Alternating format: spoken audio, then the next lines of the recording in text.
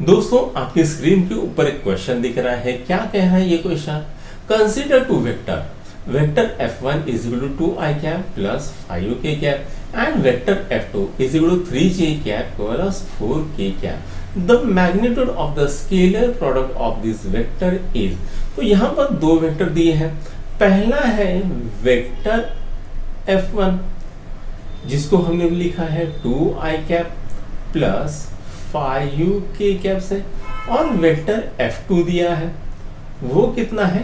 Three J cap plus four K cap दिया है। The magnitude of scalar product of this vector, यानी vector F1 dot vector F2 इसका magnitude क्या आएगा वो हमें निकालना है। तो आइए इसको सॉल्व करते हैं। तो सबसे पहले वेक्टर F1 की वैल्यूज़ मैं लिख लेता हूँ।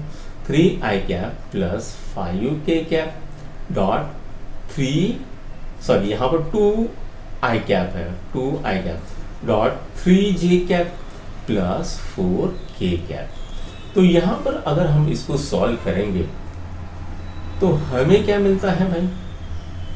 तो हमें मिलता है यहाँ पर I cap into I cap तो है नहीं, यहाँ पर ज़ीरो प्लस यहाँ पर जे कैप भी नहीं है प्लस ज़ीरो तो ये कितना है? ट्वेंटी आ रहा है। ट्वेंटी की कैप आ रहा है? ठीक है? तो ये कितना है आंसर? ट्वेंटी आ रहा है आपका आंसर। तो यहाँ पर ए ऑप्शन सही है, उसको टिक करो, फिर आगे बढ़ते हैं।